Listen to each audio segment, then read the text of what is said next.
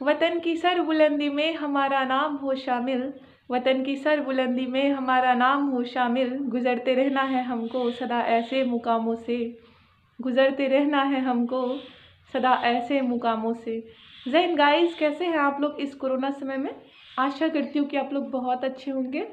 मैं लक्की आप लोगों का अपने यूट्यूब चैनल पे एक बार फिर से स्वागत करती हूँ। दोस्तों, आज की वीडियो बिहार पुलिस से रिलेटेड है। बहुत सारे लोग पूछ रहे थे कि बिहार पुलिस का डीओ कब होता है? बिहार पुलिस की फ़र्स्ट सैलरी कितनी होती है? बिहार पुलिस में कितने दिनों का ट्रेनिंग दिया जाता है? ट्रेनिंग के दौरान कितने दिनों का छुट्टी मिलता है? और जो डिस्ट्रिक्ट हम लोगों को अलाउट किया गया है, क्या वहीं पे ट्रेनिंग दी जाएगी? तो दोस्तों, इन तमाम सवालों का जवाब इस वीडियो में है। आप वीडियो को अंत तक देखें। दोस्तों, जैसा कि हम लोग जानते हैं, बिहार पुलिस के ज्वाइनिंग करने का डेट 26 अप्रैल से 25 मई तक दिया गया था। बहुत सारी जगहों पे ज्वाइनिंग हो भी गया, मगर बहुत सारे सेंटर पे रोल नंबर के अकॉर्डिंग कैंडिडेट को बुलाया गया था। बहुत सारे जगहों पे अभी भी बाकी है ज्वाइनिंग की प्रक्रिया। तो दोस्तों, कोरोना संक्रमण को देखते हुए लॉकडाउन लगाया गया था और अभी भी पंद्रह मई तक लॉकडाउन है। इसकी वजह से जो ज्वाइनिंग की प्रक्रिया को पोस्टपोन कर दी गई है। तो दोस्तों, जैसे ही लॉकडाउन ख़त्म होता है तो ज्वाइनिंग की प्रक्रिया को आगे बढ़ाया जाएगा। और अगर लॉकडाउन का डेट आगे बढ़ा तो ज्वाइनिंग प्रक्रिया में लेट हो सकता है। बहुत सारे कैंडिडेट जो अपना योगदान दे चुके हैं, जो अपने अपने सेंटर पे भी चले गए, उन लोगों का अभी तक मेडिकल नहीं हुआ है। बहुत सारे जगहों पे मेडिकल नहीं हुआ है। रेयरली कहीं कहीं मेडिकल हुआ है। और जिन लोगों का मेडिकल नहीं हुआ, उनका अभी होगा भी नहीं। लॉकडाउन वगैरह, कोरोना संक्रमण कम होगा, उसके बाद ही मेडिकल लिया जाएगा। लॉकडाउन के बाद फिर से कैंडिडेट को सूचित किया जाएगा कि उनको ज्वाइन करने के लिए कब जाना है। ज्वाइनिंग के बाद बहुत बहुत सारे जगहों पे, बहुत सारे सेंटर पे गर्ल्स का बैरक नहीं है। तो ज्वाइनिंग के बाद बैरक मिलता है सभी कैंडिडेट को। हाँ बहुत सारी जगह पर तो बैरक भी नहीं है।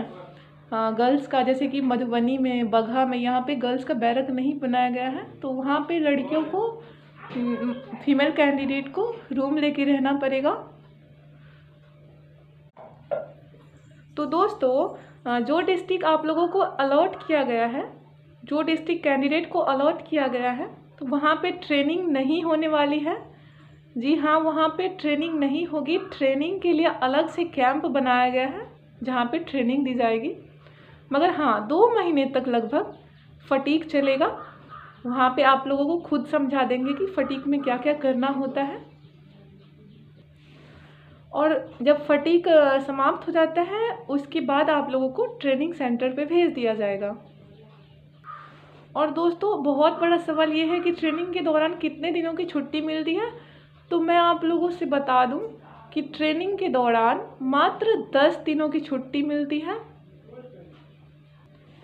इसी में आपको जो करना होता है, आप कर सकते हैं। आपको ट्रेनिंग के दौरान दस दिनों की छुट्टी दी जाएगी। और दोस्तों ट्रेनिंग कितने दिनों की होती है? तो ट्रेनिंग दो सौ तिहत्तर दिनों की होती है, जिसमें से अंठावन दिन फटीक चलता है। अंठावन से साठ दिन तक फटीक चलता है। और 215 दिन लगभग परे ड्रिल चलता है। और अगर इससे अधिक समय लगता है तो उसमें आपको अनुशासन और पब्लिक को कैसे फेस करना है, अपने सीनियर से कैसे फेस करना है, उनसे कैसे बिहेव करना है, ये सब बातें आपको वहाँ सिखाया जाएगा। और दोस्तों, ये दो महीने जो फटीक चलता है, इस दौरान आप लोगों को ड्यूटी में भी लगवाया जाएगा। आप लोग ड्यूटी भी करेंगे इस दौरान। अब बात करते हैं डीओ की। डीओ क्या होता है? दोस्तों, डीओ का मतलब होता है डिस्ट्रिक्ट ऑर्डर मतलब जिला आदेश। जिला के द्वारा दिया गया आदेश। जब तक डीओ नहीं मिलता तब तक आप एक गवर्नमेंट एम्प्लॉय नहीं हो सकते। और जिस दिन डीओ हो जाता है, उसके बाद से आपकी सैलरी शुरू हो जाती है। दोस्तों डीओ का मतलब एक कैंडिडेट की डीओ से नहीं होता है। जो डिस्ट्रिक्ट कैंडिडेट को अलॉट किया गया है, वहाँ पे जितने सारे कैंडिडेट हैं सपोज़ करिए दो सौ छिहत्तर कैंडिडेट हैं। तो जैसे कि आप छब्बीस को ज्वाइन कर लिए और कोई दस को ज्वाइन करने वाला है। तो ऐसा नहीं है कि आपका डीओ पहले हो जाएगा और उनका डी बाद में होगा। तो दोस्तों, सारे कैंडिडेट का डीओ एक बार ही होता है और एक बार में ही सबको जिला आदेश प्राप्त हो जाता है। ऐसा नहीं है कि जो लोग पहले जाते हैं तो उनको पहले हो जाता है, जो बाद में जाते हैं उनको बाद में डीओ मिलता है। ऐसा नहीं है। सबको एक साथ जिला आदेश मिलता है। जब सारे कैंडिडेट ज्वाइन कर जाते हैं, उसके बाद एसपी साहब द्वारा डीओ दिया जाता है। उसके बाद आपके सैलरी आने शुरू हो जाएँगे। अब बात करते हैं सैलरी की। तो दोस्तों, जितने भी कैंडिडेट हैं, उन सबको फ़र्स्ट सैलरी छब्बीस हज़ार प्लस मिलेगी। जी हाँ दोस्तों, उन सब की सैलरी छब्बीस हज़ार प्लस मिलेगी और कई जगहों पे तीस हज़ार से स्टार्ट होगी सैलरी दोस्तों, मैं आप लोगों को बता दूँ कि सैलरी पॉपुलेशन एरिया के हिसाब से मिलता है और महँगाई के हिसाब से भी मिलता है। जैसे कि पटना का सैलरी सबसे ज़्यादा होगा, क्योंकि वहाँ पे पॉपुलेशन भी बहुत है। पॉपुलेशन और एरिया को देखते हुए सैलरी डिसाइड किया जाता है।